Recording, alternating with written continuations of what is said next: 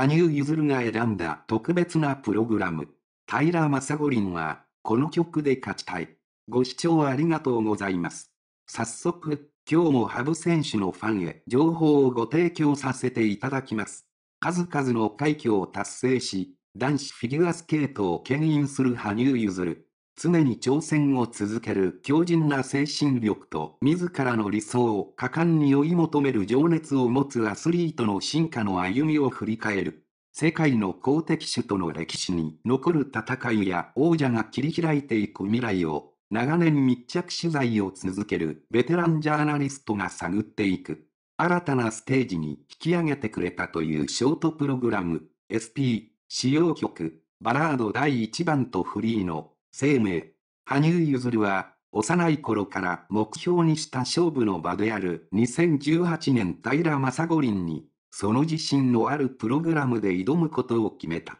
五輪連覇がかかるハブが常々口にしていたのは、難度の高いジャンプを飛ぶだけではなく、スピンやステップなどの表現も含めて完成された、芸術性も併せ持ったプログラムを目指したいということ。平正五輪は、その理想形を実現する最大の場と考えていた。このプログラム選択に、2017から18年シーズンにかける覚悟の強さを感じた。ハブにそう伝えると、そうですね。やっぱりそう感じますか？と微笑みながら、言葉を続けた。本当に自分のやりたいようにやるというのが、一番じゃないですかね。何よりも、バラード第一番に関しても、生命、関しても、自分が音を感じられるプログラムです。ホープ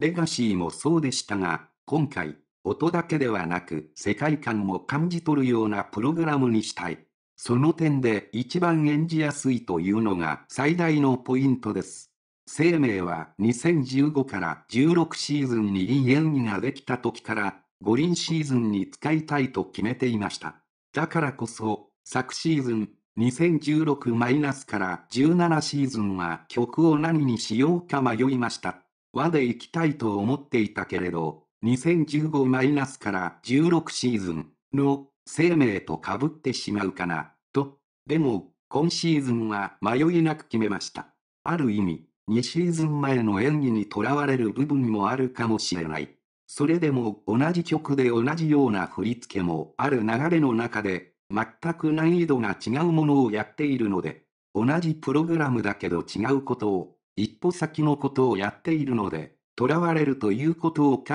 えなくてもいいのかなと考えています。以前、バラード第1番に関しては、使用することをかなり迷っていたとハブは話していた。2016から17シーズン、ノーミスの演技ができなかった SP 曲、レッツゴークレイジーを持ち越すと考えもあったという。さらに、バラード第1番の使用について、羽生は、使用するのが3シーズン目ってどうよという気持ちもなくはなかったと苦笑していた。それでも、バラード第1番に決めた理由を、羽生はこう語る。17年4月の国別対抗戦のエキシビションのアンコールで、レッツゴークレイジーのステップの部分をしたとき、結構消化できたんです。自分の中で、これが見せたかったものだなと思って、それで、次のシーズンは、もうこれじゃないんだなと思えた。それでやっと前に進める感じになれた。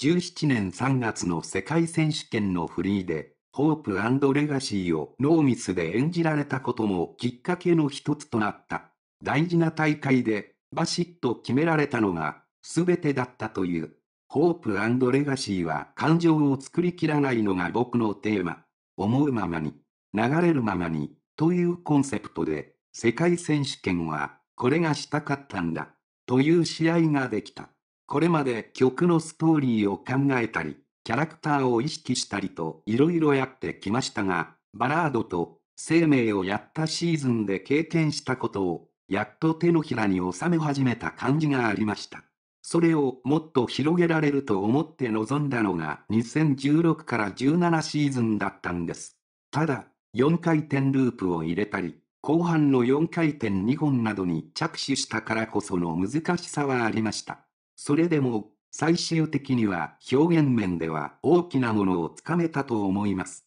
シーズンを通して強く感じたのは、フリーはそれぞれの試合ごとに全く違う空気感だったということ。だからこそ、SP でも以前とは違うバラード第1番ができるのではないかと思ったんです。振り付けをしたジェフリー・バトルと自分のイメージがどこか溶け合わないところも以前は感じていたというが、イメージがつながる形にできるまでに技術が追いついてきたとハブは実感していた。プログラムの技術構成は、後半の連続ジャンプをトーループの連続ジャンプにすることを決めた。詳細に計算をした結果だった。2017から18シーズンのトーループの確率を考えてみると、サルコーがなかなか入らなかったことで、トーループは絶対に決めてやるという意識があり、いつの間にかトーループへの自信がすごくついていたんです。それもあって国別対抗はトーループからの3連続ジャンプもやりました。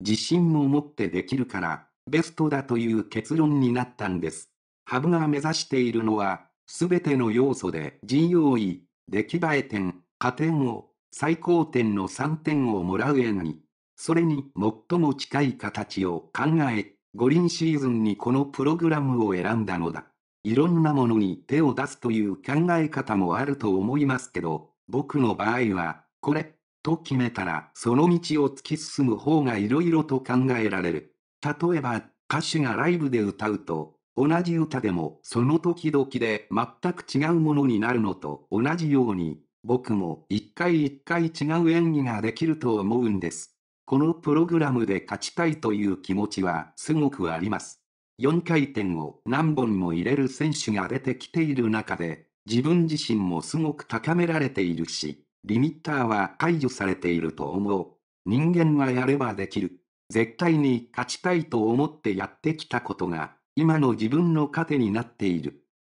勝ちにこだわるのは、演技にこだわるのとイコールだと思うので、まずは自分ができる最低限のこと、は必ずやらなければいけないですし、同時に最大限のところを超えたいという気持ちは強いですね。プログラムをしっかり深めて見ている人を絶対にうならせたいな、と思っています。17年5月、アイスショーで見た、バラード第1番はそれまでと違う力強さが感じられた。ハブは、こう説明していた。ステップの前に4回転プラス3回転が入っているからでしょうね。その前のトリプルアクセルもふわーっという感じで、より音に溶け込むジャンプに仕上がっていますし、トーループも音に合わせたジャンプになっていると思います。その意味では表現の幅が広がった感じはすごくある。8月上旬、トロントの公開練習で見たバラードのステップにはレッツゴークレイジーでやろうとしていた直線的な鋭さが感じられるようになり、生命の出だしには、ホープ